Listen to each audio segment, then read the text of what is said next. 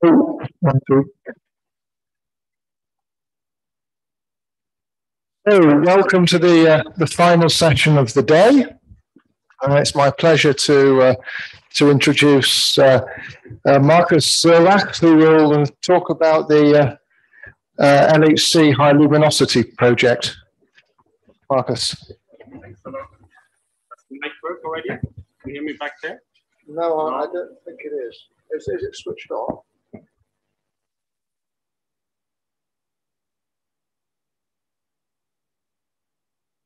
All right. Now I can hear it works. So many thanks for the introduction and welcome to this last part of uh, today's session. So it's my pleasure to, uh, uh, now that we've heard in the morning a lot about the mentioning of the HLLHC upgrade project, so I will try to clarify and explain you a bit what indeed we hope to be able to do uh, for your community and maybe what also LHC, uh, the upgrade project cannot do.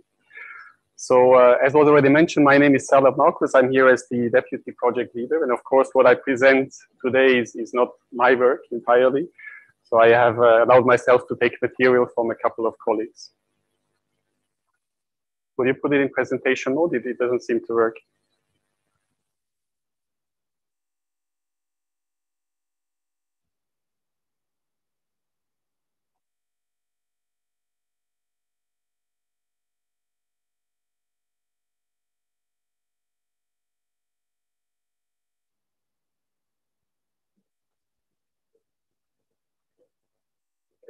Sorry for that. Maybe if you close and start again.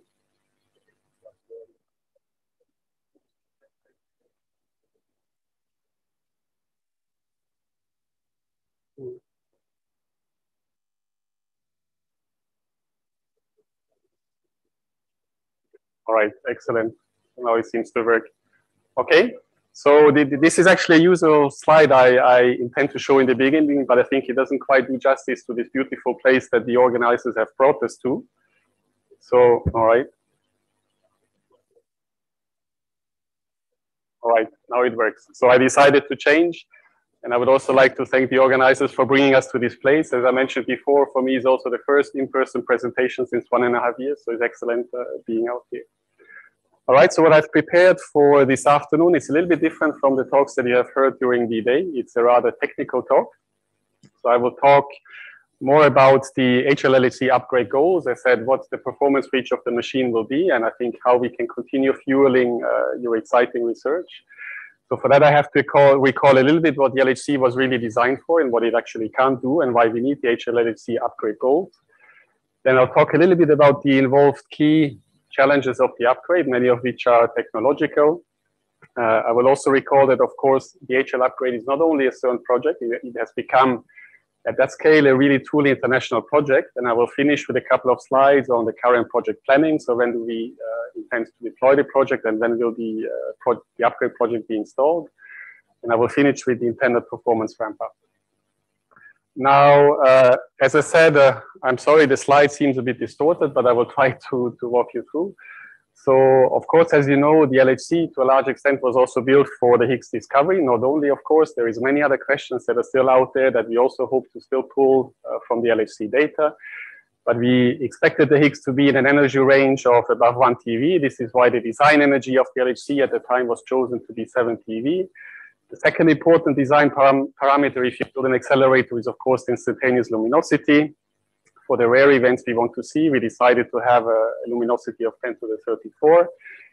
And the last ingredient is, of course, the uh, accumulated data, which we call the integrated luminosity. And the LHC was designed in its lifetime, that normally is, was intended to finish at, in the years of 2025 to 2030, to be 300 inverse femtobarn. Now, this last, while the first two are really uh, design parameters of the machine when you do the accelerator design. The last one is not entirely. It will, of course, depend on the first two. But there is also the way on how we actually deal with beam lifetime, the turnaround of the machine, how quickly we can bring back uh, uh, the machine from one field to the other plays uh, into all of that.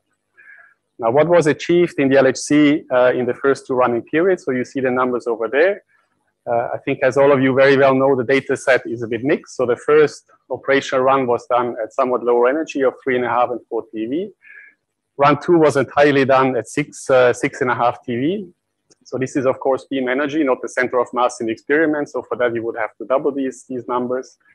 We have been doing really well in terms of luminosity. So we have exceeded the design goal by a factor of two, reaching two times 10 to the 34. And also when it comes to integrated luminosity, we're perfectly on track in reaching uh, the goal of 300 inverse femtobarn. Today we have accumulated almost 200 with still one operational running period to go. So this is a picture you might have already seen throughout the, the workshop. So we have seven operational years uh, behind us, 2010 to 2018. Uh, so run one from 2010 to 2012, the second one from 15 to 18.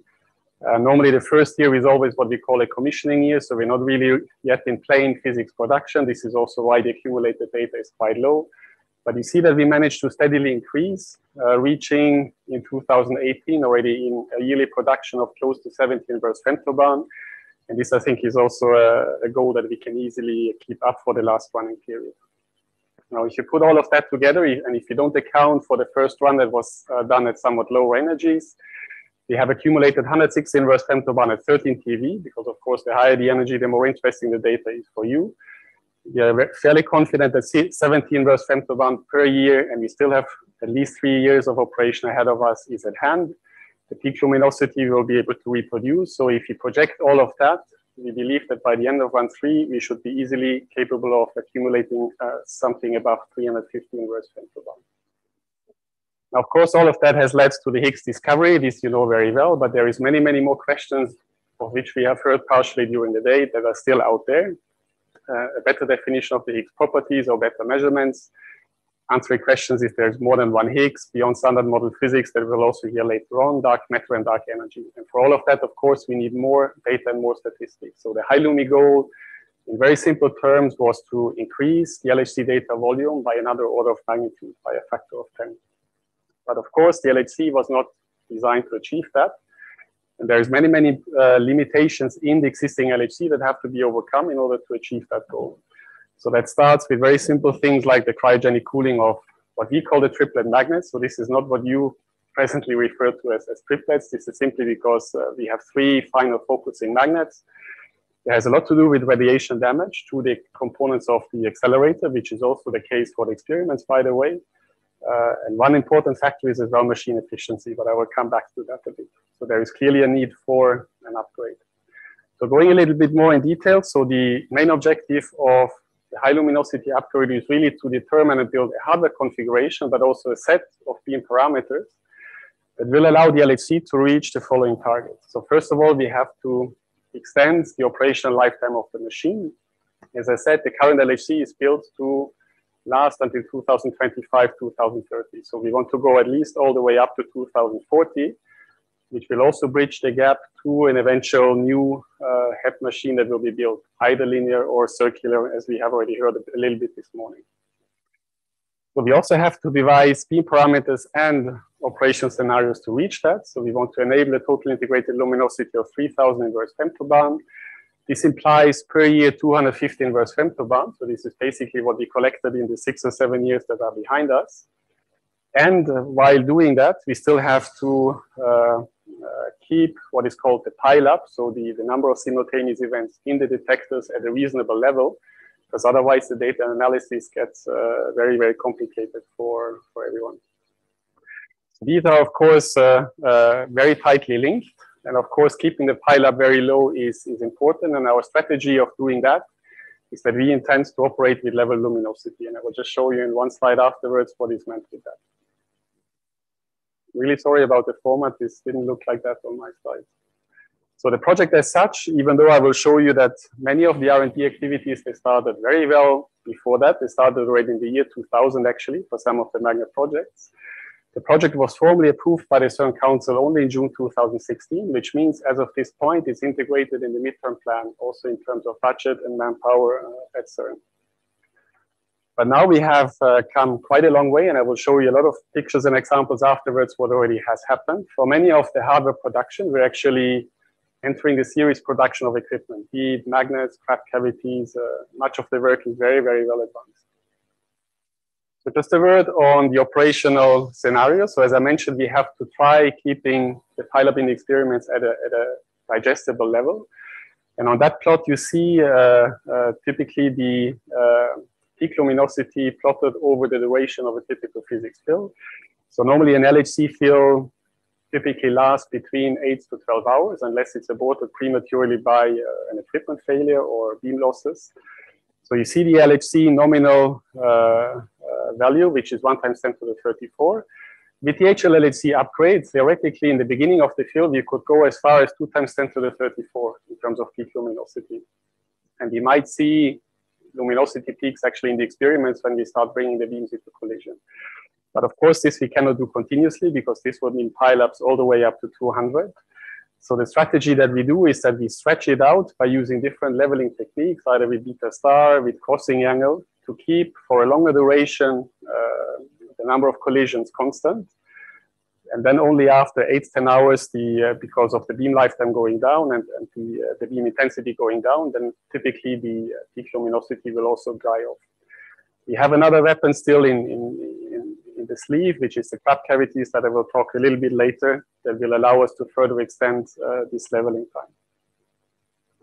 Now, how do we reach the HLLHC performance? I will not talk about all the ingredients, but I will try to cover at least the main four. The first one of them we actually already have behind us. So this is uh, what we call the LHC injector upgrade. I only have two or three slides to quickly go through that because high luminosity also critically depends on an improved performance from its injector complex. Another one is that we have to deal with these higher intensity beams. They have quite some implications on radiation levels, on uh, beam instabilities that we have to tackle. There is also a lot of new hardware development, so we need to reach lower beta stars. So this is a much lower beam size in the points of the experiment to get up the number of collisions. I will show you a couple of examples of new triplet magnets, but also separation dipoles that have to be uh, designed and produced for that. And we also have to deal with the crossing angle compensation. So let's start with the first one, the beam from the injectors. So I think this picture, certainly all of you have seen before. So of course, we always only talk about the LHC, but the beams are actually at CERN at least produced by a whole uh, sequence of what we call the injector chain.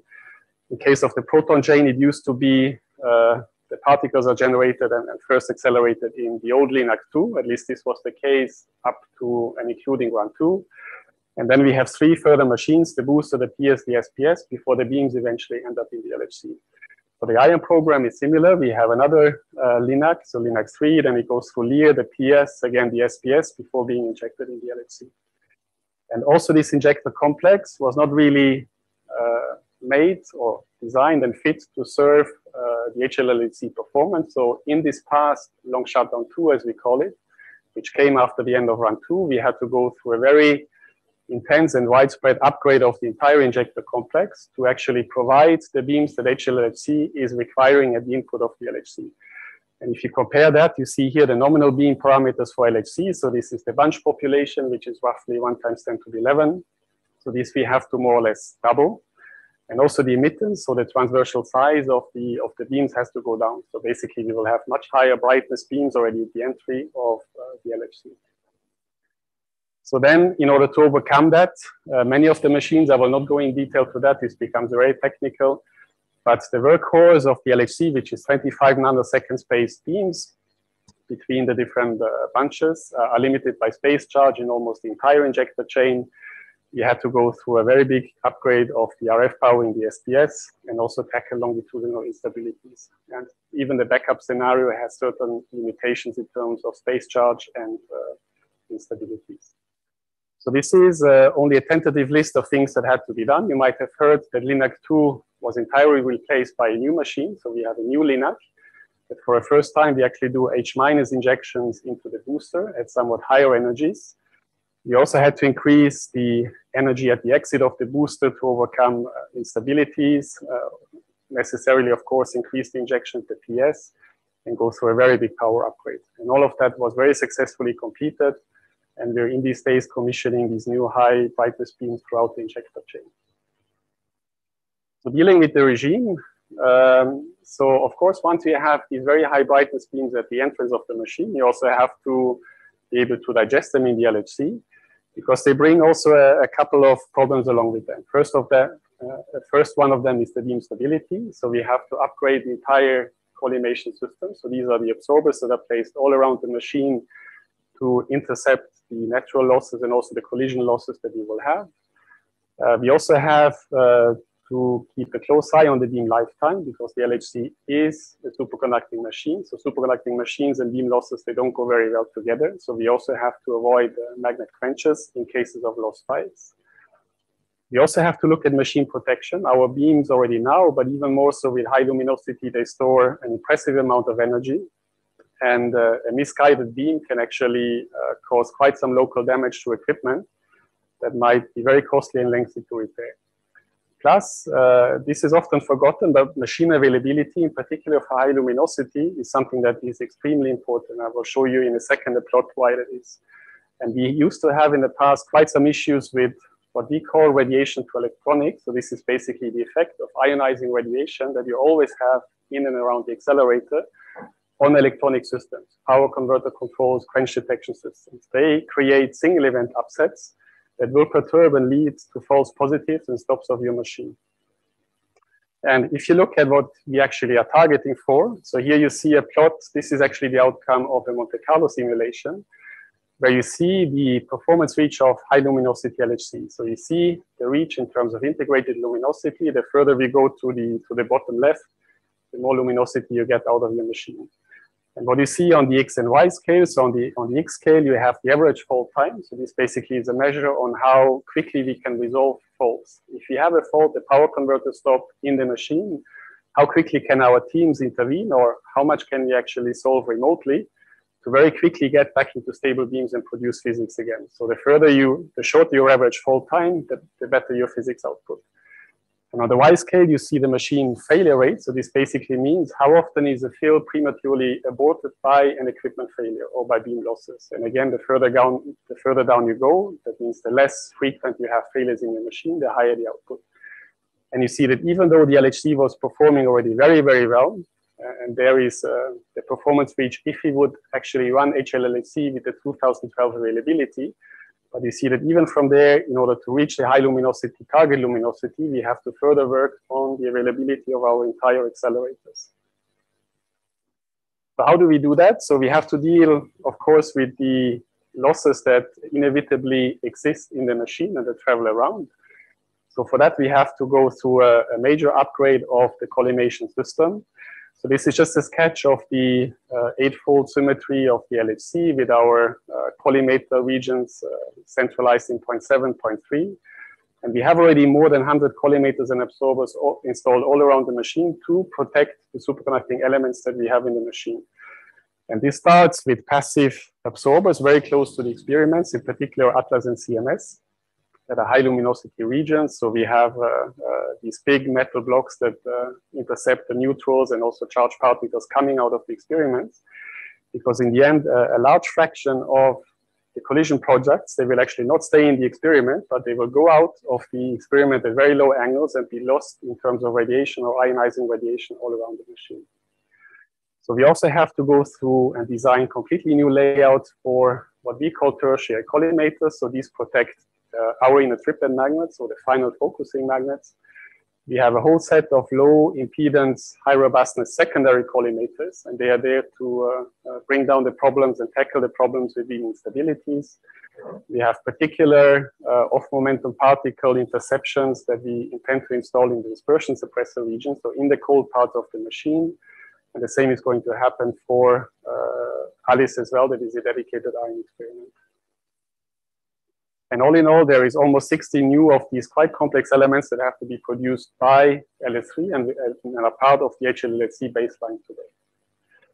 Another uh, measure that you can take if you have problems with radiation is, of course, taking out the equipment of the tunnel. Now, this sounds obvious, and this you can do for some of the elements, of course, not for magnets, cavities that have to stay on the beam line. But for all of the ancillary equipment, the power converter, protection systems, everything uh, that you can avoid putting close to the beam lines where you have ionizing radiation, you should do. So very early on in the design of high luminosity, and this decision was actually taken uh, already back in 2014 or 15, it was decided that we will do exactly that and that we will actually build new underground areas to uh, take away as far as possible much of the infrastructure away from the beam lines. And what you see in this picture is actually the existing, well, now even those are excavated, but let's say the old LHC tunnel with the Atlas or CMS cavern in light gray. And everything that is here, maybe dark gray or blue, was actually new underground areas that have been constructed in order to install power converters, cryogenics, uh, uh, RF power supplies for all the equipment that is installed along the beam line. And of course, this is uh, not only on one side, but actually the, the, symmetric thing is also existing on the other side. So this was a very big undertaking, and the progress of that has been uh, quite fantastic because despite of all the COVID restrictions, we managed to, to stick to the plan. And all the underground civil engineering work was completed during the long shutdown two, because uh, doing uh, very heavy mechanical excavation work is of course not something that is compatible with the operation of uh, um, an experiment very close by. So we uh, intentionally wanted to finish that work during LS2. And I will just show you a couple of pictures on how good the progress actually was. So this is the example of point one. So this is uh, Atlas. Of course, there is underground areas, but there is also surface buildings that have to be constructed on top. So everything that you see in blue is completely excavated and actually ready for the installation of infrastructures. The same thing is true for the surface buildings. Now, for those of you that have very good eyes, you might see that there is only a very few red stretches. So these, these very thin vertical cores. So this one actually will only be done in LS3 because with the existing machine still being installed, we didn't dare drilling vertically onto the ceiling of the machine because otherwise it would have been the risk that we destroy the equipment that is today installed in the tunnel. So these will only, these connections will only happen actually at the beginning of the long shutdown phase. So just to show you a couple of pictures of how that looks like. So this is from the very early days. And you see that this is quite some heavy work that was ongoing underground. But very quickly, they started to resemble more and more underground areas. Uh, and this was actually upon the occasion of the very first breakthrough between the new galleries and the existing LHC infrastructures. And some of you might remember these people. So this is Lucio Rossi, the former HLLHC project leader. This is Freddy Bordry, this is our current DG Fabiola, and Oliver Bruning, who is leading the HiLumi project today. So going on, you see that uh, with time, all of these underground areas, they're really taking shape to the point where we are today. That all of that is really ready to start receiving the first technical infrastructure. So here you see the shaft coming down from the surface to the new underground areas. You see the very long galleries, and you see that we have started installing the first metallic platforms that will very soon receive the first cryogenic and ventilation equipment. So looking on the surface, uh, maybe a little bit less impressive or more, more common. So here you see that we have started casting the, the different slabs. Then the walls went up, uh, the ceiling came on top. And today the buildings are actually being uh, delivered as we speak. And these surface buildings, they will serve primarily for infrastructure related to cooling, cryogenics, and electricity all of that is looking very good. And of course, it's a very nice concept to evacuate as, as much equipment as you can. And you see actually how dense even this new underground area will be populated. But of course, if you have to power equipment and magnets in a tunnel that require uh, 18 kiloamps of DC current, you also have to find technical solutions on how to bring over these 100, 120 meters such high current density. So there is also new technology that had to be developed for that. And I only show you, oops, think it crashed.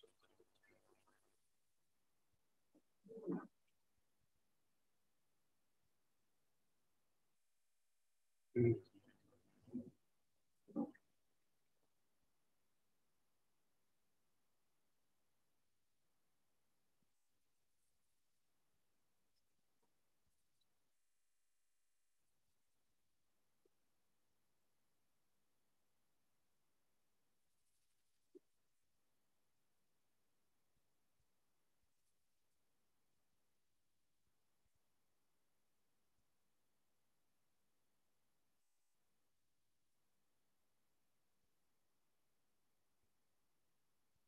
You want me to go through or I try to quickly get there?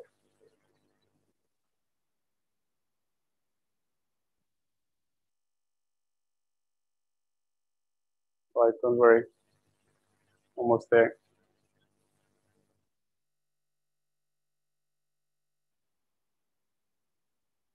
Okay.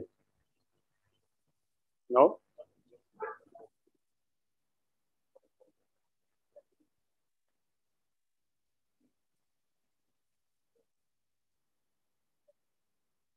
Okay. Otherwise, I can try to play it on my computer if that is better. The file is quite large, it might be because of that. Try to go directly to the slide and then play from there.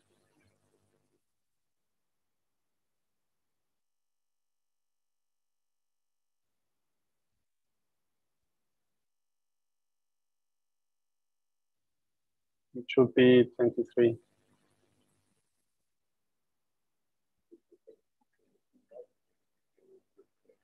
Yes, it's this one. Mm.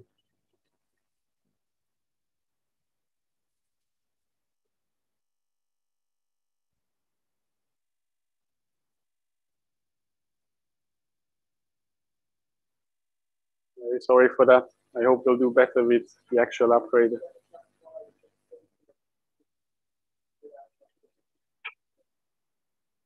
We could do, but then you will have to switch these the slides manually.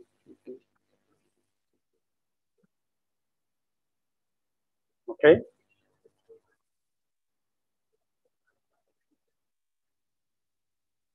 All right.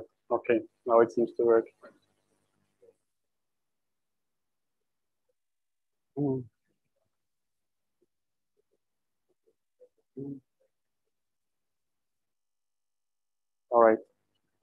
Okay, sorry for that. So um, I was mentioning that indeed we also have to develop technology in order to carry these very high currents from these new underground areas to the elements that actually need them. And one of the very interesting R&D projects that were done was the development of a new type of super, superconducting link. So we have them already even in today's LHC, but at a much smaller scale. So this was a development done based on a magnesium diboride cable. So this is the actual material of the superconductor. You see here a cross section of the cable that is uh, roughly 10 centimeters in, in, diameter. So it's a multi-conductor cable that actually goes into a, a, flexible cryostat that you see here that then can be put on a big spool. And this is actually what then will be lowered into the tunnel and then be installed uh, into this trench where it has to go in order to connect from the new underground areas to the tunnel. And this demonstrator was successfully installed and tested already in one of the test facilities at CERN, demonstrating that such a cable can carry the required currents of almost 20,000 amps uh, in each of the conductors. So this is how it looks like. There is a bit of zoom. So here you see a better picture of this flexible cryostat, which of course for installation is very convenient to have, to be put. But of course there is quite some ancillaries for all the cryogenic and electrical connections that are needed for that. And here you see that this superconducting link, we actually managed to, to operate not in liquid helium anymore, but this is gaseous helium that is used for the cooling at 30 Kelvin. This is a big advantage of magnesium diboride. And you see that we managed in this cable to do these cycles of 18 kiloamps and also for smaller conductors up to 2 kiloamps. So that was a very interesting and, and very good success. Now, uh, another ingredient to the upgrade is reaching smaller beam sizes in the experiment. So this is what we denominate as beta star. And there is the, the high luminosity goal is uh, a factor of three or four smaller than what we can reach with the LHC today. But all of that also needs new magnet technologies, and I will try to explain you why that is. So for those of you that have seen, this is an image of uh, the current, we also call them triplet magnet because there's three optical quadrupoles that are needed for the final focusing of the beams towards the experiment. So here this, uh, you see roughly the transversal beam size. Uh, and here in the middle, you would have the actual interaction point in the, mid, in, in the experiment. So now what actually happens, as I mentioned before, much of the collision products, they actually will exit the, uh, the experiment. They will travel along the beam pipe and they will start impacting on the first uh, equipment that is in their path. And if you actually look at the radiation, the ionizing radiation that some of these elements, typically the ones closest to the experiment, will receive, you see here plotted on top the radiation dose that these equipments in the current or prospected for the 300 inverse femtobarn for the LHC will receive. And you see that, of course, as a function of, of, the, of the optics uh, along, the, along the path, it's not necessarily the first element, but here at the front phase of the second quadrupole, you'll reach uh, doses up to 30 megagray. And this is really at the limit what you can design today in terms of resins, in terms of insulation materials inside your, your magnets. So if we go beyond that, that means if you would continue running the current LHC, these magnets, they would simply break, most likely with electrical failures of insulation because of uh, the material used today. So the only thing we can do is indeed to replace these existing triplet magnets with a more radiation tolerant system, and that means shielding. Uh, that means that we have to put tungsten inserts even inside the beam chambers of these, uh, these magnets. This, of course, needs uh, space. So that means uh, in order to go to the 150 millimeters of diameters that we need for HLLHC compared to the 70 that we have in the current LHC, it means that we have to also go up in the peak field of the coil. So into the current triplet magnets, they can reach something like 8 Tesla in the current coils. For HLLHC, we will need peak fields all the way up to 12 Tesla. Uh, there is, of course, uh, magnet designs that are already existing for that, and this is one of the R&D efforts that was done since uh, 2000 with our American colleagues. So this is US Lab, and here you see the cross section of the new inner triplet magnet design that was done at the time. Now, of course, this doesn't really stop there. So here you have a comparison of this last series of magnets uh, just before the experiments Atlas and CMS, how they look like in the current LHC, how they will look like for high luminosity LHC you can already see that, as I mentioned before, the quadrupole magnets will be longer and stronger. There will also be a, a much bigger corrector package for higher order corrections. Plus, we also have to replace uh, the separation and recombination dipole D, uh, D1 that used to be a normal conducting one with a superconducting one simply to recover uh, the length and the space that, the, that was needed by the quadrupole magnets. Now, I mentioned that these new types of magnets, they will use niobium 3 tin. And this actually is the new technology that probably all the future HEP machines have to go towards. And the reason for that is that uh, niobium tie, that is and used to be the workhorse for almost all the superconducting machines, is simply limited in terms of the peak field that you can reach for uh, the current densities that we need. So this line shows more or less the working point of LHC. So we reached 8.3 Tesla at, at uh, decent critical current densities. But if you have to go to 12 15, maybe 16 Tesla, as it will be required for high luminosity, but also future machines like FCC. We need to embark into different uh, superconducting uh, technologies. And the only one that we have available today that we know how to actually produce in, in a series way and on an industrial scale is niobium 3 tin. And here you see the new working point for high luminosity. Anything beyond that, the only way to go will be uh, high temperature superconductors like YBCO and others. But these are very, very difficult materials that at least today we don't really know how to, how to master yet for uh, industrial production. So niobium 3 tin, uh, there has been a whole R&D program on that. We are, uh, and I will show you some examples that we reached today with magnets 11 to 12 Tesla. 16 Tesla will be needed for uh, potential future HEP machines. This is a material that exists already quite widely. Uh, MRI is using almost 20 tons per year. ITER will be a very big client of that. But it comes at a considerably higher cost than niobium tie, and it is a brittle material. And this is something that we see now in magnet testing that is actually a technology that we still have to learn how to fully master. And HTS will be needed for anything if ever we need magnetic fields all the way up to 20 Tesla. But also already there is quite some ongoing R&D.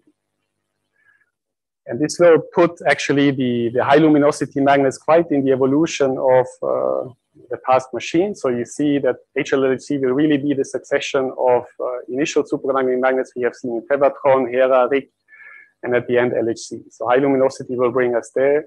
Any future machine will probably have to be able to exceed uh, 15 or 16 Tesla in terms of magnetics design. And as I said, the, the turnaround time of these technologies is very considerable the R&D for the high luminosity LHC already started uh, around the year 2000 with very early models. And only 50 to 20 years later, we were actually able to master them and uh, install them as planned in 2025. So now, just very quickly, a couple that, of course, this didn't stay with the R&D. So this is uh, a couple of pictures of the very first models that were built for the inner triplet magnet. So this is a very short magnet still. But you see that this one reached already with only 10, 15 quenches the, the nominally even ultimate current. So this one was performing very well. There was a whole succession of different models. I said that the R&D program was very long. Uh, and I'm very happy to show that uh, already in 2020, we actually had the first long uh, full-scale magnet tested at uh, uh, the test station of our American colleagues. And also at CERN, we have already produced uh, the first you know, triplet quadrupole that will also then be installed in the LHC as of 2025. So we're really now entering the phase of series production for all of these equipment. In 2020, actually not only one, but already a second magnet passed successfully the tests uh, last year. Today we have even two more magnets, so that means that already one full uh, IP side of, of the LHC uh, we can fully equip.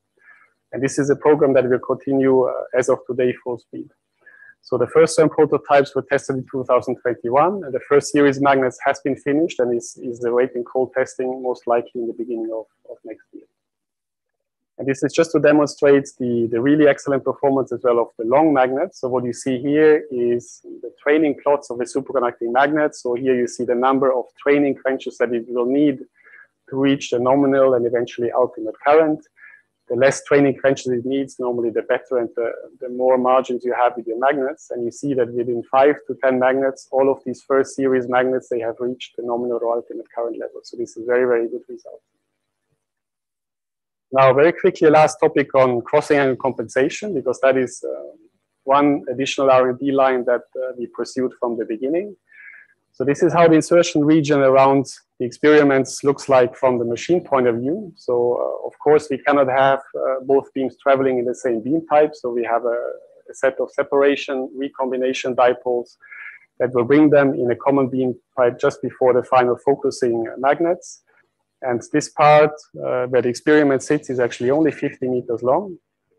And uh, what we of course would like to do in the middle of uh, the collision point is that we operate with a maximum of number of protons, so that means a large number of bunches, which led to the design of this 25 nanosecond spacing. But this also actually leads to uh, a whole number of unwanted collisions. And this has to do with the crossing angle because we have to actually uh, cross in the same beam pipe the two, the two beams, beam one and beam two. And even though they will nicely collide in the, in the center uh, for head-on collisions, also these bunches that are actually physically apart, they will have um, unwanted collisions and they will actually impact each other. And this will lead to nonlinear fields from what we call long-range beam-beam interaction, and this certainly is something that has to be avoided. So the measure that we have to do against that is that, of course, you want to make this crossing angle as big as possible in order to increase the separation of uh, the bunches which are not in the middle of the, of the experiment. This, however, has uh, uh, an undesirable side effect. That means that the overlap of the bunches when they collide is not ideal anymore. And you actually lose uh, in terms of luminosity because of what is called the geometric factor. Now, for the nominal and today's LHC, the effect is not yet that big because the beam size or the beta star was, was fairly modest still, one could say, compared to high luminosity LHC. So the loss would only be between 15 or 20%. If you look at where the HLLHC target lies, this is of course already much more severe. And you would lose up to 70 or 80% of uh, the instantaneous luminosity because of the geometric factor. So what we can do against that, and that is quite an ingenious uh, idea, is that we actually take the bunches and just before we start colliding them, we will tilt them. So we will tilt them transversely. So that means you give to the head and to the tail of the bunch uh, electromagnetic kick in order for them to, to tilt slightly backwards. And if they then go like that through the crossing angle, they will perfectly collide head on in the middle of the experiment. So this is, uh, uh, but for in order to achieve this, what we call uh, crabbing, you have to be able to create an oscillating transverse electric field that kicks, as said, the head and the tail of the bunches in opposite direction. And of course, once you exit the IP, you have to do it in the inverse sense. So this serves as a mitigation to this effect of the crossing angle at the IP. And, uh, uh, but it also requires, uh, as said, new designs of uh, equipment that I will show you just in the next slide. And of course, also the space constraints in an area that is already very dense is something we have to consider. So these are uh, the developments for the devices that we did for that purpose, and we call them crab cavities that you might have heard about. Again, this was a major R&D program that started many, many years ago. Initially, there were three or four different variants of cavities considered. Now we are concentrating on two designs for the installation for the uh, final deployment to the tunnel. And they're called the RF dipole and the double quarter wave. And here you already see uh, bare cavities as they have been produced. But we also went already a step beyond that. So the first uh, RFD uh, dipole cavity has already been addressed and tested. So that means the power couplers get installed, the higher order mode couplers get installed. And you see that we have reached uh, deflecting voltages all the way up to 5 megavolt, which are unprecedented and which by far exceed the operational specification, which is only in the region of 3 megavolt. So we're very confident that this uh, will actually work. Of course, the crabbing has never been shown for proton beams. We also wanted to try that out on a proton beam itself. So we have taken that, that a step further. So one of the cavities uh, at the time an RFD cavity was taken. It was jacketed. Uh, all the power couplers and the, uh, the antennas were installed. They were put in the cryostat, connected to a cryogenic system. And all of that was put in a test station in the SPS. So that was the only place where we could test it with uh, proton beams. It was not possible to be inserted that easily in the LHC. And here you see how this installation took place. So it was installed in what we call a bypass. So that means for normal operation, the crab cavity is actually out of the beam and the beam passes through just a normal vacuum chamber. And for dedicated beam development periods, all of this table is moving inside, and like that, we can uh, test out the, the operation of these crab cavity modules. And this has been done at the end of run two, so in 2018, very successfully. And it's planned to, this test station will be reused for the double quarter wave as of the beginning of run three, which as you know will happen uh, in the beginning of 2023. And with, during these test periods, so a, a, lot of these, what we call machine development periods, were conducted in the SPS, and we were actually capable of showing for the first time crabbing with proton beams. So here you see an image. If the crab cavity is off, you have the perfectly uh, elliptic shaped uh, and distributed bunch. And here you see that the, the tail and the, the head of the bunch, they are tilted uh, transversely.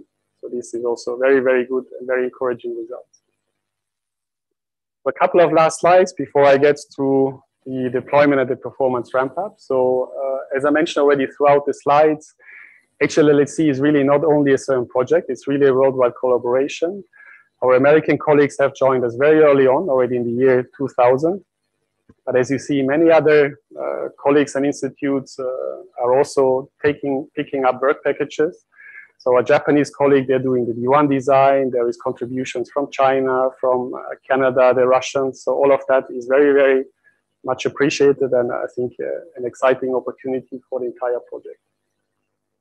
And if you try to put that on uh, the installation that we have, so you see that this is, of course, a very exciting opportunity to have all of these different collaborators and countries on board.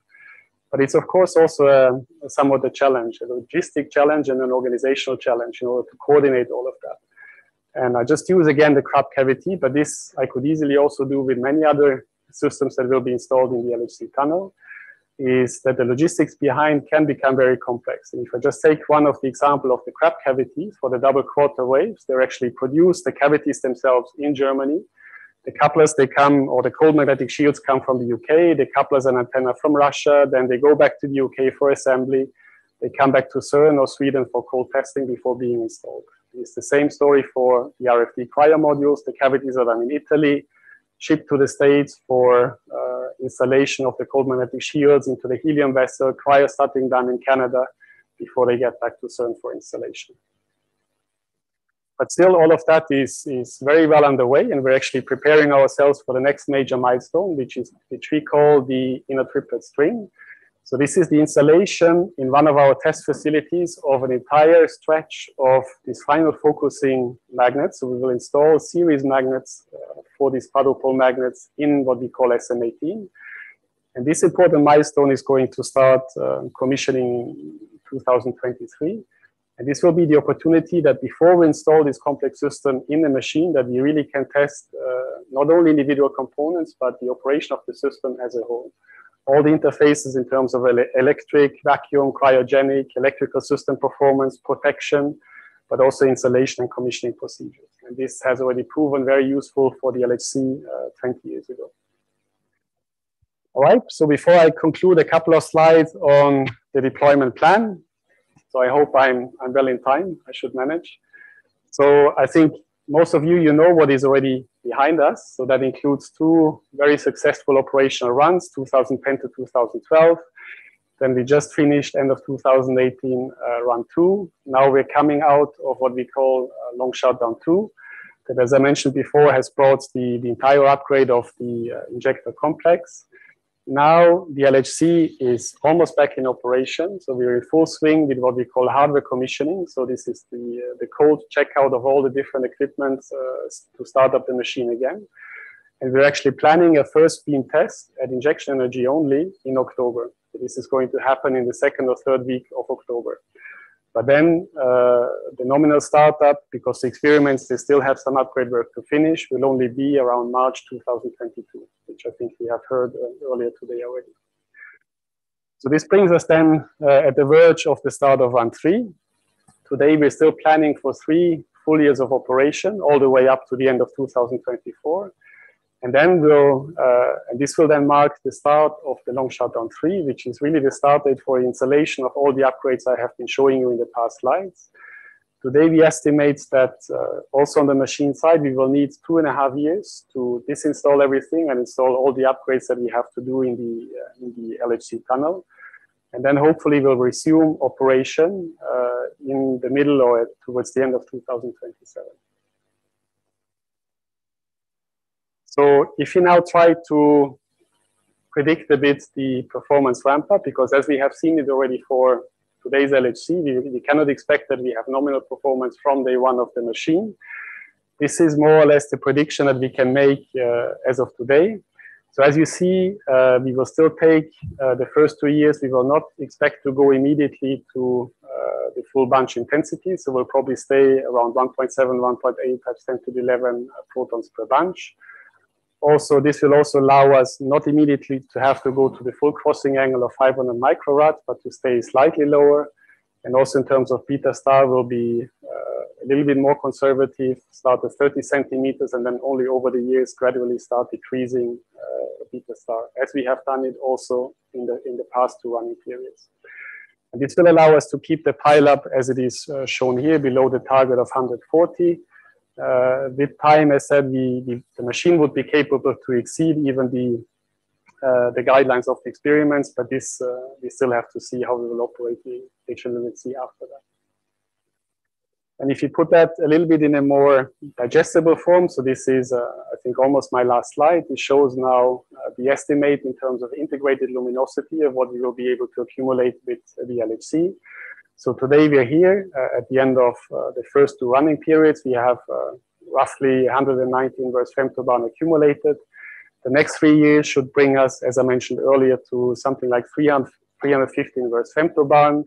Then we have the intensity and performance ramp up that I mentioned before. That should bring us in, in the region of 1,000 inverse femtobarn at the end of, of run four.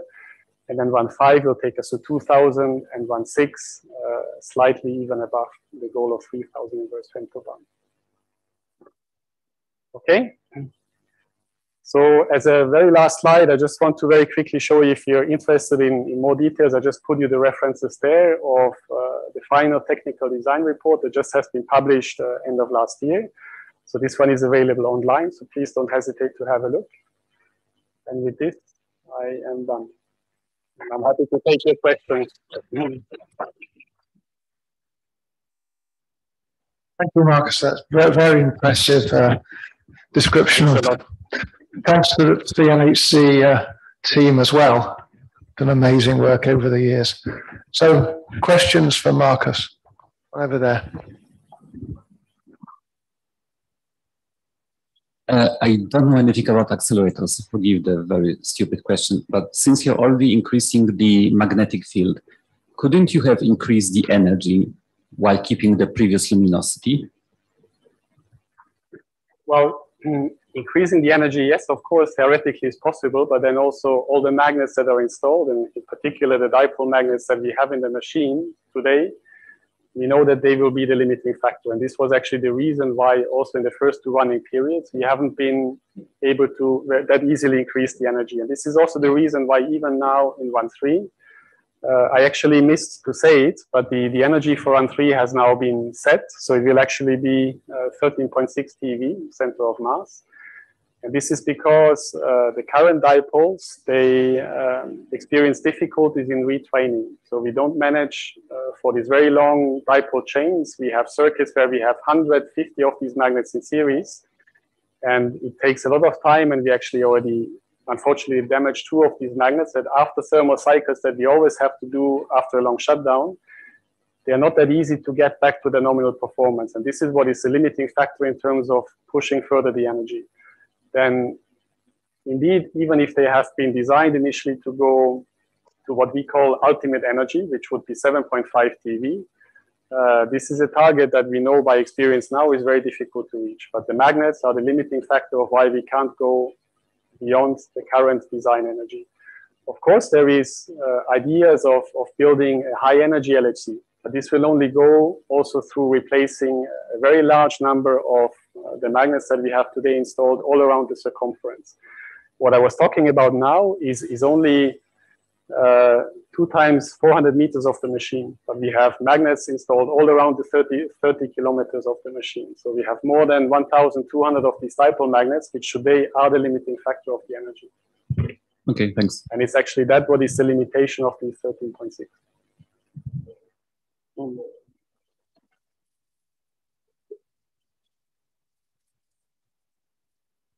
Um, well, two questions really. You mentioned uh, both 3,000 and 4,000 inverse femtobarns as the target. Uh, can you yes. clarify between? Yes, I and can clarify. My question is, uh, before you answer that, this is really an unfair question, but um, what what is the earliest possible time when a decision could be reached positively to build the FCC and what is the earliest possible time the FCC could conceivably take data?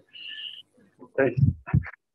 Okay, I, I, will try to answer both questions. So first, I'll try to clarify. So you asked, indeed, I didn't really speak about the goal of 4,000 inverse femtobarn, but indeed, normally uh, 3,000 inverse femtobarn. So this is what is the nominal design goal of high luminosity LHC. So this is a target that we uh, commit that we can deliver. The machine, however, is built to even perform slightly beyond that by using engineering margins that we have built into the design of the machines. So all the magnets and everything will be designed to be also reach uh, more accumulated data that, than that. So that can either go by an extension of the LHC lifetime beyond 2040 to maybe make the bridge to an FCC that comes afterwards, or it can go by quick, quicker ramping up the, uh, the performance of the machine. So let's put it like that. All the equipment will be designed compatible with the goal of 4000. However, the management will today commit that high luminosity LHC in the time all the way to 2040 will deliver 3000 inverse femtobarns. But as we see today with the LHC, if everything goes well, we will deliver more, of course, than the 3000. Now to come to your second question, so FCC I think this very much depends on, on what variant of FCC you, uh, you're going to build. I think CERN indeed, uh, this morning we heard uh, uh, wishes that maybe we should go towards a linear machine. CERN today is rather putting its focus on indeed a circular machine being FCC. And very likely it's taking the direction of FCC EE. So first an electron machine, build the tunnel, get the machine installed, and then maybe at a much later stage, uh, potentially build as well the Hadron machine.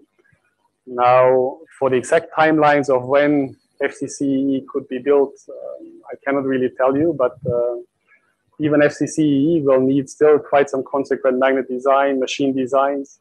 So I think before 2045, 50, it's at least for me personally difficult to imagine.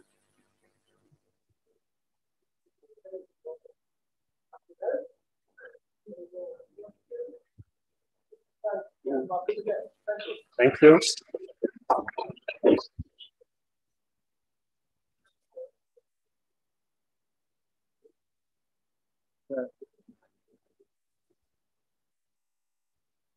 Okay, yeah. yeah. So the, the, the next speaker, uh, is this a remote talk, the next one? Yes. Okay, the next speaker is uh, is uh, Isabella Oceano, uh, speaking from Lecce, I guess. Um, yes, you're right. The light dark matter with the Padme experiment. I guess. So um, I cannot share because you are sharing. the, so- the uh, organizer, you have 20 minutes. Is that, is that uh, sort of 17 plus three or something? Minutes? Sorry? 18 plus two. Okay, so I'll give you a five minute warning.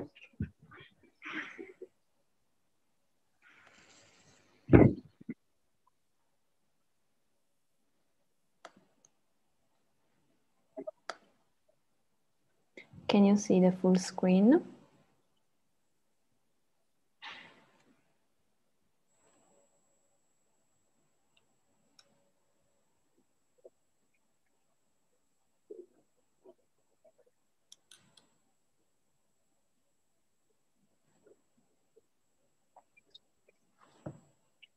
Can you hear us, uh, Isabella?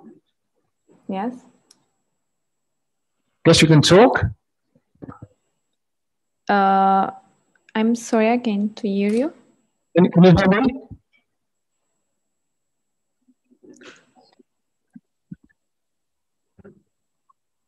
Can you hear me? Yes, yes, yes, we can hear you, but uh, can't you hear me? Yes. Now, yes. Good, very good. Okay, so uh, why, don't, why, why don't you start? I'll give you a five minute warning.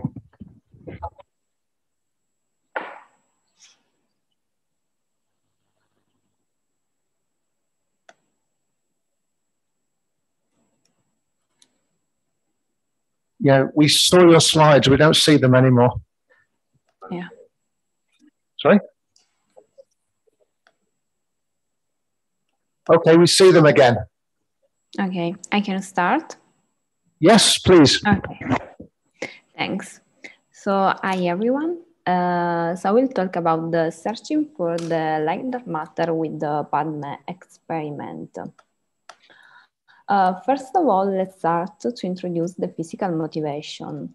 Uh, if we assume that the visible matter is the only constituent of the universe, this is not enough to justify some astrophysical cosmological phenomena like the galactic rotation curves, the bullet clusters, and the cosmic microwave background, and so on.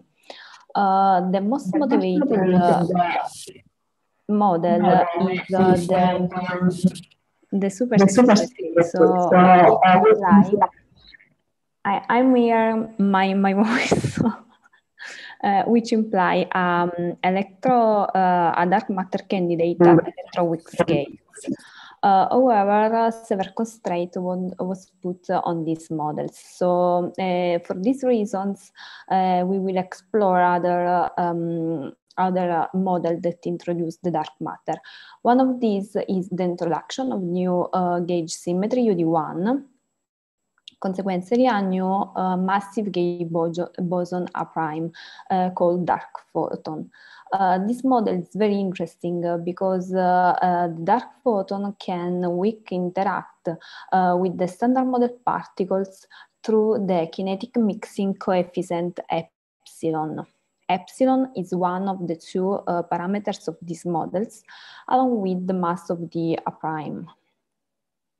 Uh, the production mechanism um, that uh, produce the A prime is the A'-strahlung that is uh, um, very similar to the Bremsstrahlung, uh, but here we uh, are producing the dark photon. Uh, the other, uh, we had, uh, we can have other two uh, production mechanism uh, if we use a, a positron beam that is the annihilation production. So we have an annihilation of uh, one positron and one electron and uh, the resonance production. Uh, the decay mode of the A prime depends on the mass hierarchy. In fact, if the mass of the A prime is higher than two times the mass of the dark matter, it will decay in uh, dark matter particles. Otherwise, the A prime will decay in standard model particles. Based on this mass hierarchy, uh, we have the search of the prime. In fact, we can have the visible decay and invisible decay search. Um, in this slide, I'm showing you uh, the limits on uh, the parameter space of, of, this model in the visible and invisible decay. On the top of this slide, um, I've reported uh, the limits that the experiment put on this model. Uh, on the bottom, uh, the same limits are reported in gray and uh, in um, the, the color lines are the future experiments, so the future limits that uh, the experiment will put on these models for uh, both the uh, search of the prime. So let's talk about the PADME experiment. Uh, the PADME experiment is a very young experiment uh, that is looking for the dark photon in the annihilation production. So we have a pos positron of the beam that is impinging on a um, electron of a target and uh, will produce the standard model particle coupled with the, the dark photon one the um, technique that uh, we will use to uh, detect uh, the um, dark photon is the missing mass, since uh, we know very well uh, the uh, four momentum of the other particles. Since PADME uses a positron beam of 550 MeV, the mass that we can reach of the A prime is lower than 23.7 MeV and we need of a statistic of uh, uh, 4 times 10 to 13 positron on target. As I said, PADME uses a positron beam coming from the LINAC of the Laboratori Nazionali di Frascati and impinging on a, an active diamond target.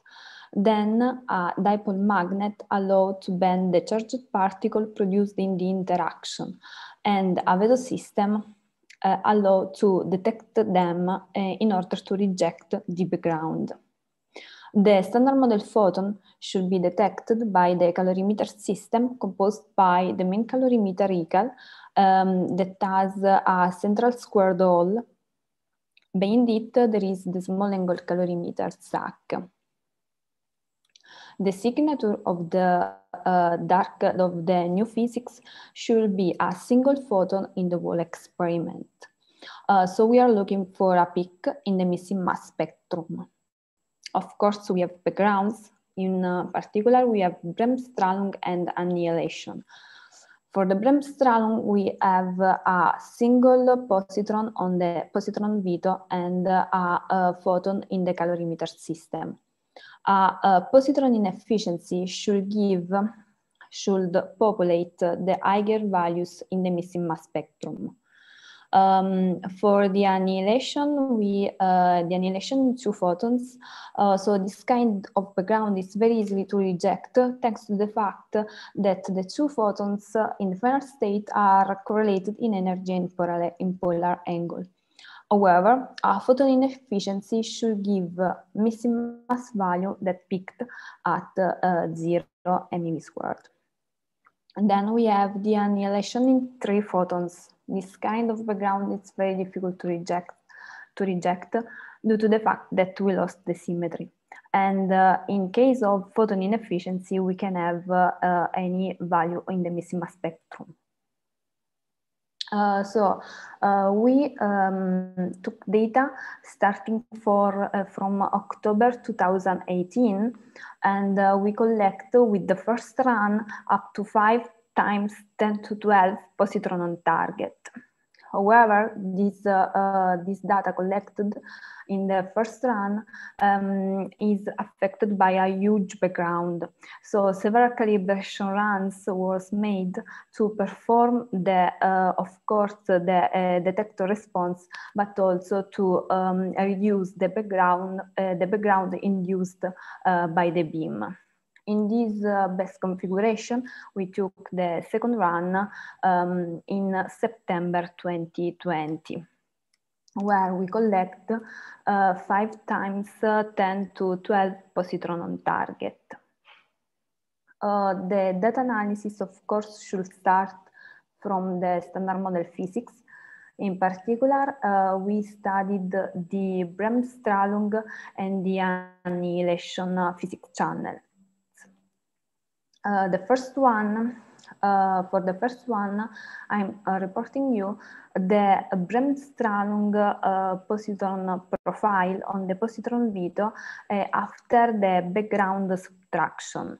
Um, in the plot on the left is represented the data with the, the, black dots. And then we had in the red and black solid lines uh, there is the Monte Carlo simulation with two uh, kind of background uh, hypotheses.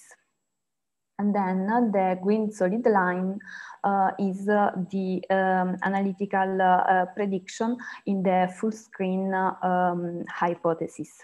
As you can see, there is a good agreement between the data collected and the prediction of the simulation and the analytical formula. On the, the right, there is the um, two photon annihilation process. In particular, on the plot, I'm showing you the annihilation spectrum in the standard run condition um, reported with uh, the red uh, dots and with a, with a special uh, data um, taking condition that allows us to predict uh, the background, the beam related background. Uh, as you can see uh, in the run two, the um, improving of the um, beam transportation allow us to have a very good uh, signal on background ratio. Fact, here uh, you can see that the background is very negligible. Uh, the analysis is ongoing and uh, we will extract the cross-section measurement for the first time at uh, this scale energy. So um, the future search in, in PADME. Uh, PADME is an experiment that can uh, that, that can investigate other dark matter candidates. In particular, the axion-like particle, so um, pseudo-scalar mediator between the dark matter and the standard model particles. Um, the ALP uh, should be produced in the annihilation of the positron with the electron and uh, it will decay in uh, visible channels so we can have two photons in the final state or only charged particles in the final state. In both the case, PADME uh, can uh, measure the the mass of the final state and can uh, probe this, uh, this hypothesis. Of course, the ALP can decay in uh, invisible, so in uh, dark matter candidates um, particles. And in this uh, case, we have the same signature of the uh, dark photon one. So uh, studying the missing mass, we can probe uh, both the hypotheses. Another interesting uh, uh, dark matter candidate that PADME can investigate is the dark Higgs. The dark Higgs can be produced coupled with the dark photon uh, through the annihilation. The final state of this process that can be visible in uh, the PADME experiment is the um, six leptons in uh, the final state uh, thanks to the fact that we had um, a huge number of uh, particles in the final state that uh, will be uh, detected using the veto system, um, we can reduce a lot the background. We can, of course, have the same final state um, from the, um, the, the, standard model uh, interaction. Um, but if we uh, study the uh, acceptance of the experiment, the ratio between the signal, so the dark photon and the background um, allow us to uh, detect the dark Higgs.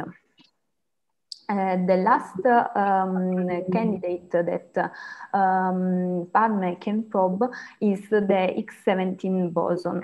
Uh, as you know, the ATOMKI collaboration see an anomaly in um, the beryllium and the helium distributions with a mass of 17 MeV. So we can probe this hypothesis if it is a new um, a new particles, and uh, it will produce by the annihilation, and the final state should be a couple of uh, um, charged particles. So a new run was planned to test uh, this, this hypothesis and we start to take data in, uh, we start to uh, take data in January 2022. So in conclusion, PADME is a fixed target Miss max experiment that is looking for the This is your five minute warning, but I see you've gone, gone to your conclusion. Keep, keep, oh, sorry. I'm sorry, I can't hear you. I can go on maybe. really bad there, wasn't it? Really bad behind him.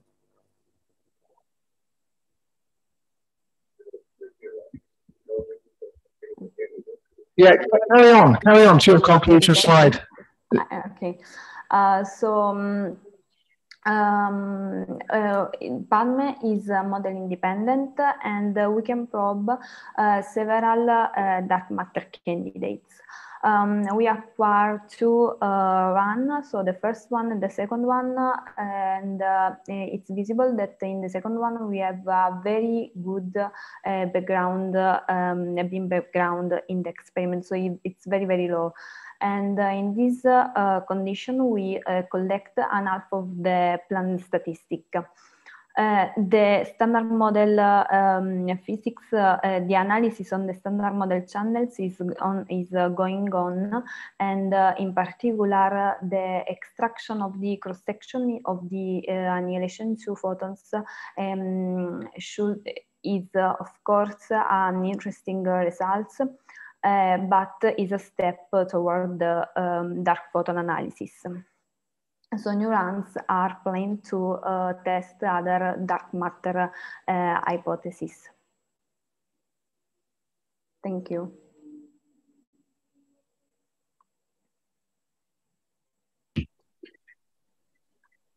So hear me, uh, Isabella?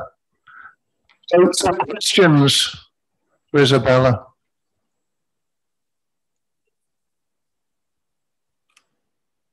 Seems not. I mean, I'll, I'll ask the, the obvious question. What, what, what are the, the plans for the future running of the, uh, of the experiment? Maybe uh, I, I can't hear you very well, but maybe uh, are you um, asking me the plans for the experiment? Can you confirm? Yeah, yes. How, how, how, more, how many more protons on target do you expect over the lifetime?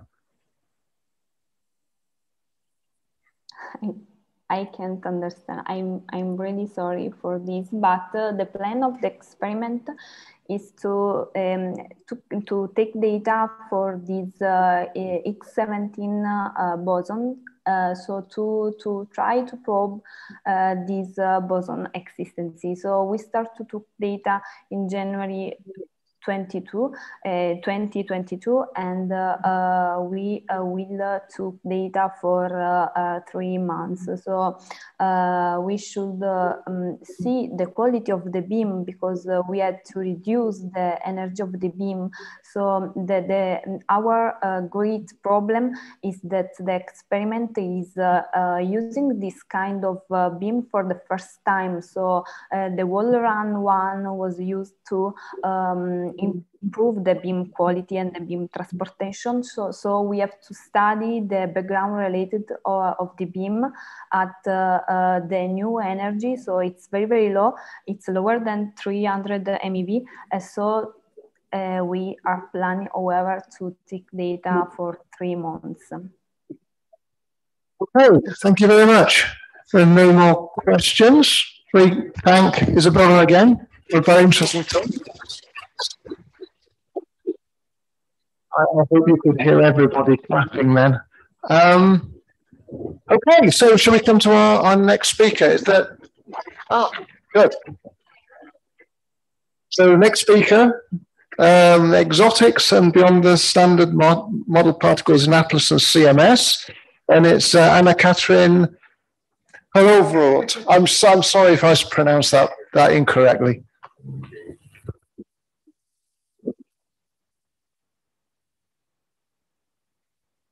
25 plus five as So,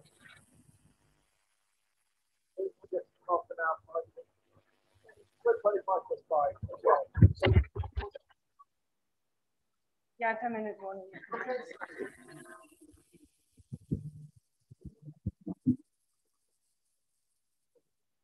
I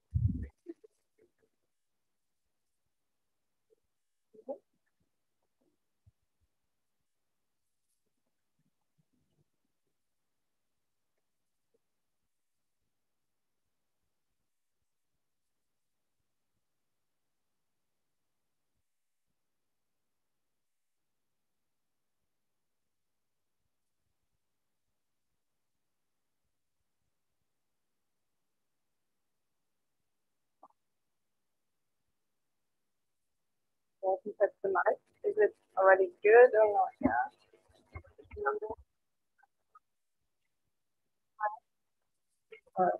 So now, uh, okay, so I have to hold it myself. Okay.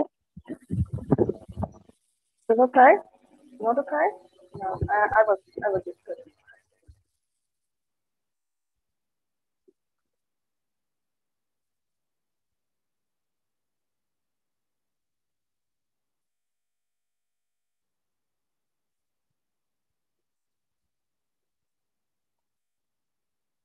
Um, yeah. Okay. Yeah, so it's really a pleasure to be here. Also for me, it's the first time in like two years to to be in person on a conference. And yeah, it's uh, it's my pleasure to present today exotics and BSM results in Atlas and CMS. So, uh, well, I will take you on on a journey um, through the sea of big mysteries in the search for uh, for the Terra Incognita which is um, well whatever questions are unanswered with the standard model. So we have a lot of, of theories that uh, that give us some predictions but actually we have very few observational hints. So there is a lot of boats in this sea around uh, one of which is um, the uh, the two big general purpose experiments atlas and cms and uh, we have a nice big data set that is the uh, run two data set roughly 140 inverse femtobarn of PP collision data at 13 GB. And with that, we are performing a very rich and very active uh, exotic search program. Um, for those who are tired, um, a little spoiler: there are new, no, um, no new physics found. So um, all I can show today is how we are pushing mass limits and the precision of these searches. Um, yeah, and also, as you see, this is like the public overview slides of, uh, of the limits that are set by Atlas and CMS. There is a lot of searches going on. I will not be able to cover them all. I did a selection of results uh, with the focus on recent and full run two analyses.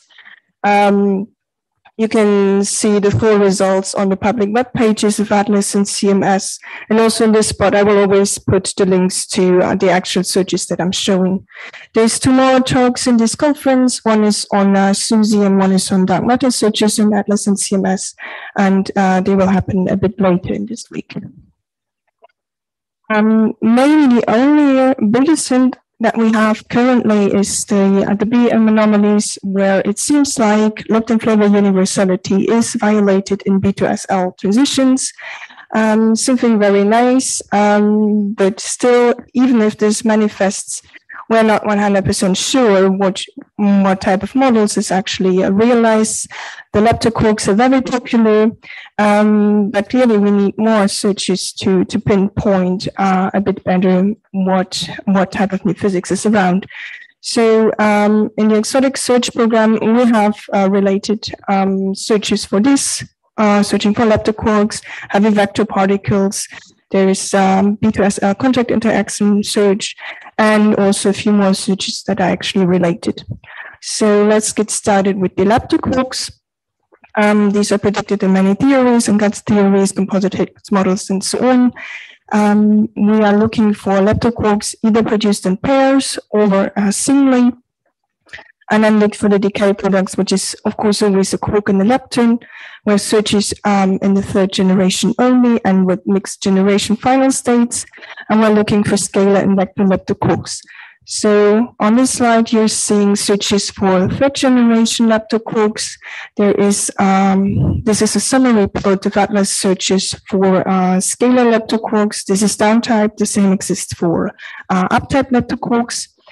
Um, all of these switches um, exclude leptoquarks up to about 1.3 TeV. Uh, nice to see is that we can also um, reinterpret SUSY results um, in, in these models. There is also search for vector leptoquarks, uh, roughly 1.7 TeV is excluded. CMS has combined um, single and pair production um, channels and have also set um, limits on the scalar leptoquarks around 1 TeV and on the vector leptoquarks uh, similar to Atlas around 1.7 TeV.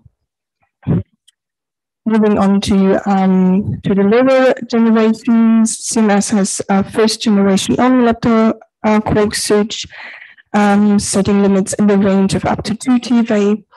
Atlas has a search for mixed first and uh, second generation scalar leptoquarks, as well as another search um, for third generation mixing with either the uh, first or second generation.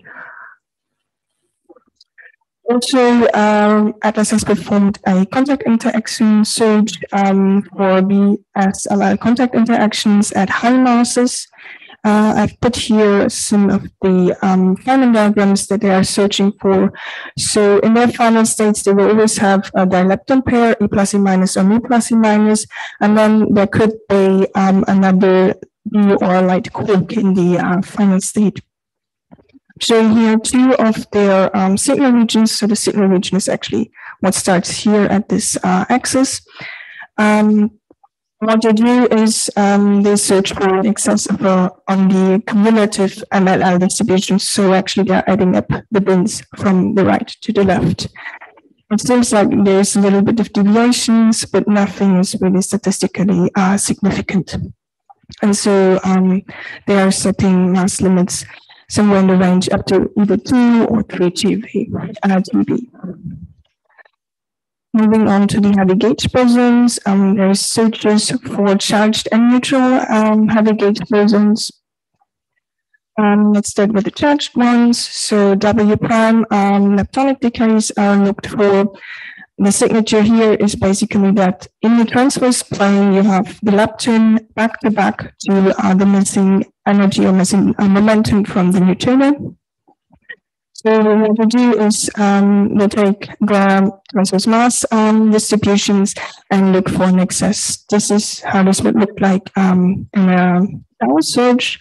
And the, um, the solid lines here are two different uh, signal models for W prime.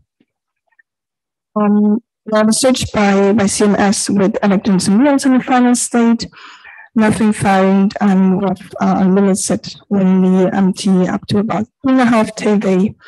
And Atlas has done a similar search with taus in the final state going up to nearly 3 TeV. Mm, the W prime can also decay into quarks. We have searches over um, top bottom final states. Um, where those are actually searched for in an all-hadronic final state. That means um, because this is a heavy particle, this is quite boosted. So we have this being basically a large jet, and we exploit uh, the jet substructure in order to uh, actually identify uh, tops and Bs. Uh, limits are set um, for W primes with right and left-handed chirality by um, searching for an excess in the MTB spectrum. So this is um, how this looks like in CMS, for example, um, where you have here signal models with two or three TeV. And again, in, uh, in both experiments, no excess was found. Moving on to W prime decays to W and the Higgs. Um, here we exploit uh, the W decay being leptonic and the Higgs decaying to two Bs because this has the highest branching ratio. Um, again, is highly boosted, so we have collimated decay products.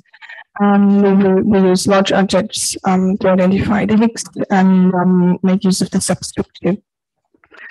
Actually, visit um, dissolved, so by Higgs, um, objects dissolved and emerge large object. Um, both experiments um, use B-tagging methods for the subjets um, to, to identify this. And in the end, what is fitted is again uh, the mass distribution of the WH. And yeah, those experiments have seen no excess. There's also neutral gauge bosons we can search for. Um, they can decay either to, to W's, that is a CMS search, uh, and the 2W final state, which is um, performed semi-leptonically. They can decay um, to jets. This is a CMS search on uh, dijet resonance. They can decay um, again to jets, but uh, b-jets here, an atlas search on this final state. And um, they had also an search um, which they they search for what they call a lepton universality violating Z prime, which um, exclusively couples to base. So here the Z prime is um, produced in association with the baby Buckberg, um, baby pair. And so we have four Bs in the final state here, but also there, nothing was found. Moving on to the dilepton ratios. Um, in CMS, there is a search for resonant and non-resonant dilepton final states with high masses. So in one way, they actually search for resonance on the dilepton um, mass spectrum and set limits, for instance, on uh, Z-prime models. But they have also done, um, um, they have also investigated the ratio of um, dimuon over dielectron pairs. Um, and in comparison with the uh, with the standard model predictions, so Monte Carlo, um, they see a very good agreement up to about 1.5 TeV. But actually, and that is very interesting. Um, there is a dip in this uh, in this plot at about 1.8 TeV, and that goes in the same direction as the uh, B anomalies. But of course, um, this is not yet uh, statistically significant. But of course, it's something very interesting to follow up. In Atlas, um, we have a different lepton uh, ratio that we're investigating, and here it is about E plus M minus over E minus M plus. So it is about the charges of an E minus E mu pair. In principle, in the standard model, this should be one. At the LHC, it's not because, well, you start with two protons, so you produce more likely W's. And if you have W plus jet events, it's easier to fake an electron from a jet than to fake a muon. And so this will be in the end a bit smaller than one in the LHC. But nothing stops BSM physics from um, actually producing producing an excess here. Um, the, the analysis group has investigated this in RPV, and leptoquark models. That is the ratio plot, no real excess found anywhere. So uh, they have also set exclusion limits on the models they investigated. Moving on to vector-like quarks, it's a big, um, big topic also in exotics, um, as they appear in many models, and as they are potentially solving the fine-tuning problem. So um, there could be a vector-like top, um, capital T, or a vector-like bottom, and these are arranged with the a bit more exotic X and Y VLQs in singlets, doublets, and triplets. Um, this slide is on pair production. Um, they can be pair produced in strong interactions. And we have um, searches in CMS for uh, the vector like B with Zs or um, Higgses in the final state, where both of them indicate um, In Atlas, um, there's searches for vector like top and B, where um, they require the Z in there to, to decay uh, leptonically. Um, and in both cases, um, they have set limits on the masses and branching ratios. Vector-like quarks can also be produced singly via the exchange of an electroweak boson. We have a CMS search um, for vector-like tops um, where the, the case into invisible neutrinos. So it's very important here, the top tagging uh, techniques that they perform, and they do uh, a measurement with the endpoint of the um, the mass uh, spectrum. Is um, um, vector-like research um, from single production, where um, they exploit um, the, the Higgs decay to um, voice And we also have a vector like T uh, search, where um, they have um, either Z decaying to, to uh, quarks or um, Higgs decaying to, to these. And finally, in principle, you can combine all these uh, theories and have a heavy gauge boson that decays to vector-like quarks. So this is a, a CMS search, um, also in an all-hadronic final state. And they are putting uh, with these limits on the W prime mass. Another very active area is searches for seesaw. Um, we are searching for type 3 seesaw and um, looking for um, heavy charged or neutral leptons.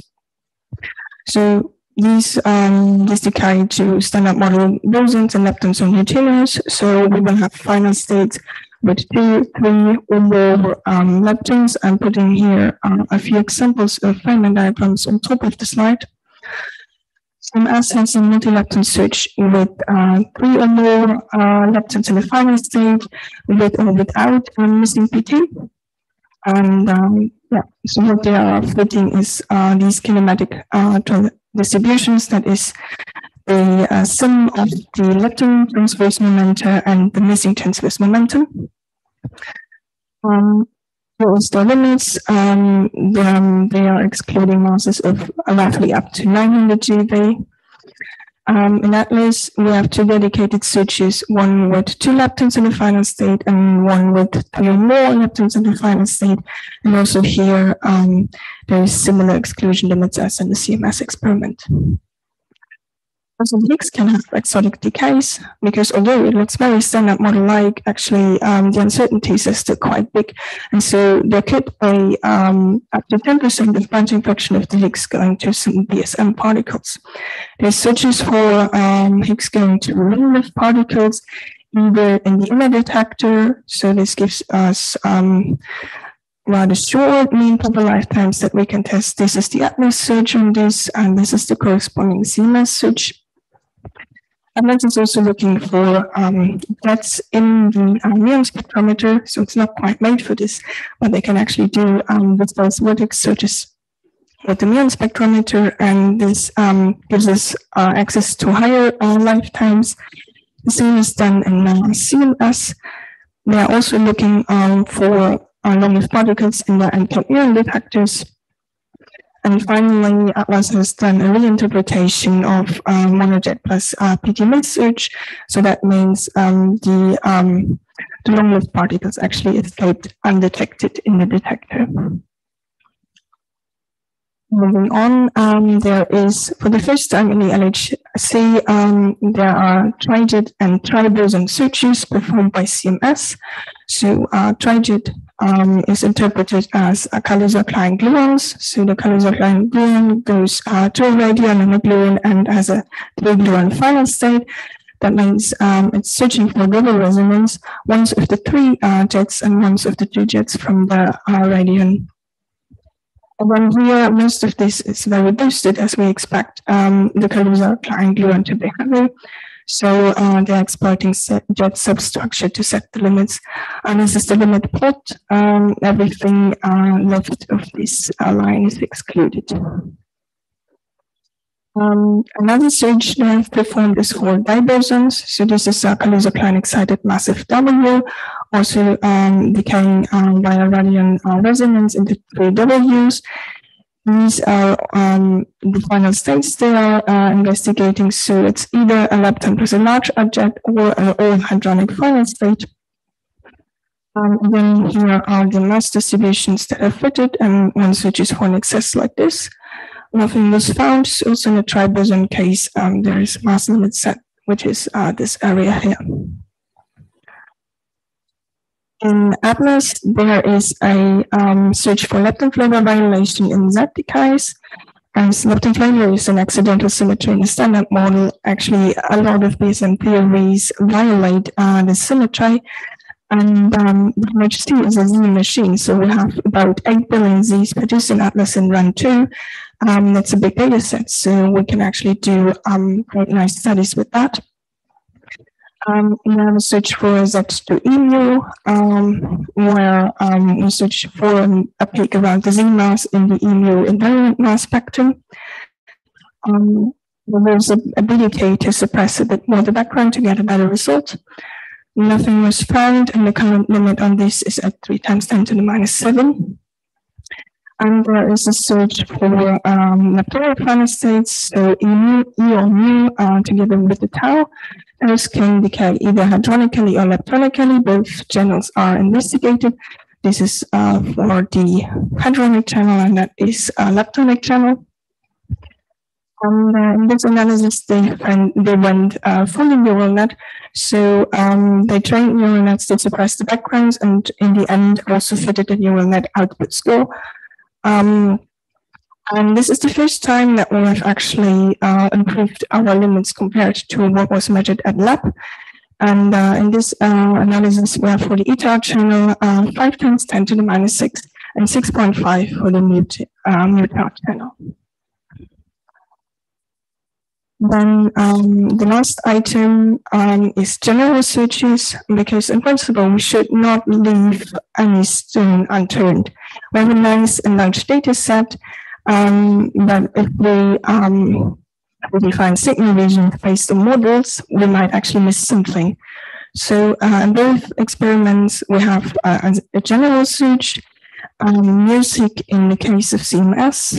They have an automatic automated search with final states with at least one lepton, and that gives them um, roughly 100 regions or so. Um, you see here the ones with the largest excesses, so all of them are rather small. I'm just showing here um, for this excess here, the second bin, uh, an example that is the empty uh, distributions that they have in this bin. So there seems to be no excess there. Leptons, um, they call it the general multi-lepton search, where they have final states with three or four leptons, and then they make differentiations whether or not they see uh, a Z in there. Um, this is the limits they obtain in the various uh, regions. Also there, uh, no excess was found.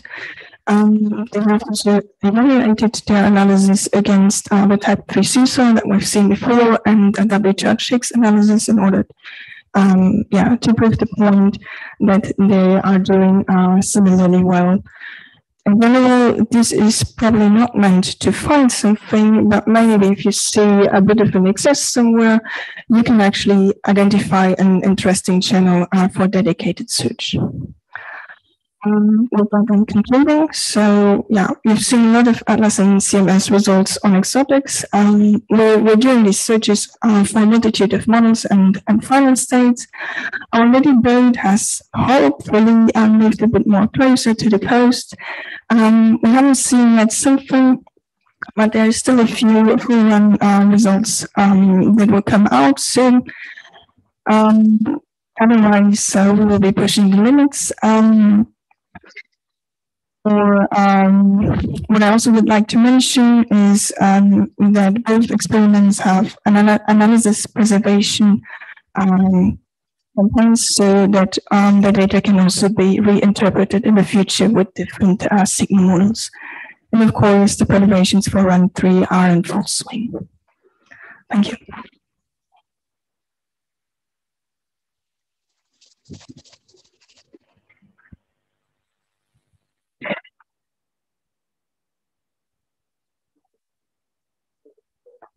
Thanks.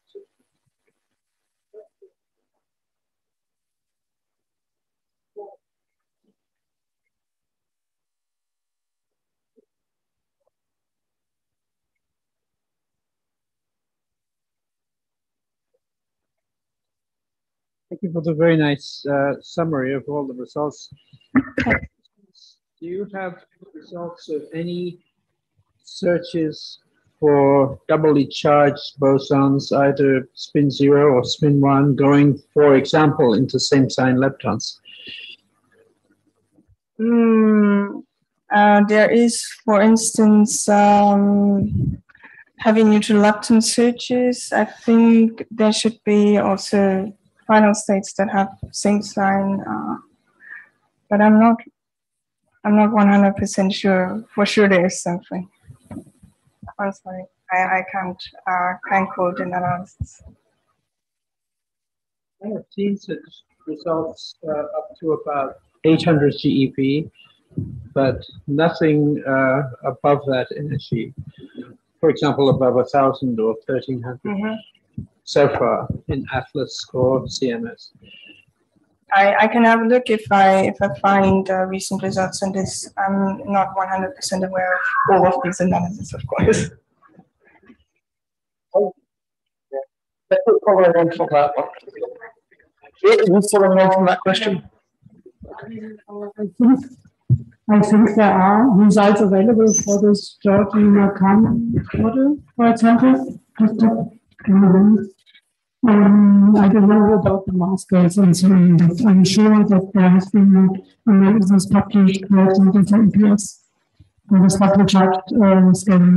Yeah, so this exists. We have to look it up, but it's uh, it's done. Yeah. Oh, okay. Yeah, okay. What is that? Okay, really. Question there? No, it's, uh, do you want this? uh,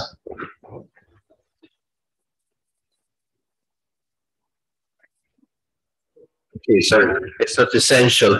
It's quite an, uh, an amazing accumulation of results, so it's difficult to really make one's way. Like, but I, I just jotted something on the way. I think you have um, at some point a contact interaction BS Mhm. in two lepton pairs. And uh, I was wondering whether you would not get better limits from LHCb or B factories on that, because I assume this is a process B going to K uh, lepton pair that they, they're actually measuring. Yeah, so um, I, I can't comment on, on LHCb, unfortunately. Um, it's probably also a bit of a question of um, it's already heavy. They might have uh, a large opening angle, and then maybe they are not in the acceptance of LHCb, but that's that's just a hypothesis. Um, yeah, I I don't I'm not aware of all of the results of LHCb. Of course, you are looking for a real process and they are looking for an indirect thing. No, but as an indirect process, you get a much better limit. I'm pretty sure this, the, the, the limit from indirect processes is, is, is pretty high.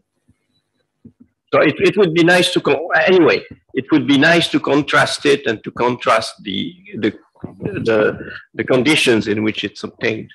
And maybe I mean um, this my, result. my, my neighbor wanted to add something. So this this result is very recently out, so maybe um, Yeah. LHCb will also react to this. I don't know. Yeah. Uh, I, I have a comment also to this result because that's, you know, I, maybe you know the answer. Because my worry is when looking at such an option, I worked uh, for, for many years on, a on contact interactions at HERA. Uh, Such type of contact interaction would immediately screw the, all the PDF determinations. So is it taken into account that if you assume such contact interaction, you have to put it also into the PDF extraction and then check how it changes your expectations? Because assuming there is such a contact interactions and not uh, changing anything in, in, for example, systematics related in the PDF is clearly wrong. I can't say if they do this. Um, I will look up in the paper if if they touch the PDFs for this. But maybe um, they assume it's a very very small effect. That's my worry. Yeah. I- I mean, don't take it as a criticism. No. You have a lot of material in all directions, and it's just a suggestion that since people will wonder, you, you put the, the the corresponding information from other sources. Yeah, I, I understand.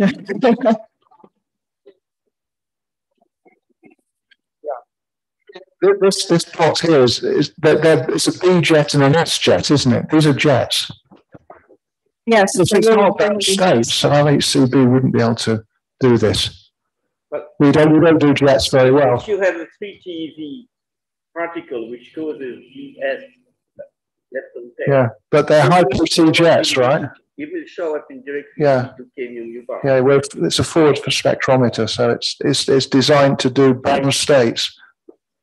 No, but I mean, if there is such interaction, such contact interaction in the theory, Hmm. it will provoke the degradation of V to K. Oh, right. Oh, yeah, yeah, yeah, yeah, yeah, yeah, yeah, yeah, I- yeah, yeah, yeah. I, I, uh, I accept that. And- and- We, yeah, yes, exactly, exactly. So there must be something I think. Yeah. I think we're, uh, So Marie, I think it's exactly that motivation, no? I think LHCb has seen an effect. And now the question is, is it a TeV scale particle or is it something heavier? So here they're looking for a heavier interpretation and they're trying to see the same contact interaction at the energy frontier. It's just a, a way of looking at the same physics in an orthogonal way. But I'm sure it's motivated by the LHCb Yeah, it anomaly. definitely is. But you know, there are some models where the new physics particle is 30 TeV, and then it would look like a contact interaction still at the LHC, right? So. Oh, here they're probing the content, they're probing lambda here, right? So you're measuring coupling over a scale. So in some sense, you're not sensitive to the mass of the mediator.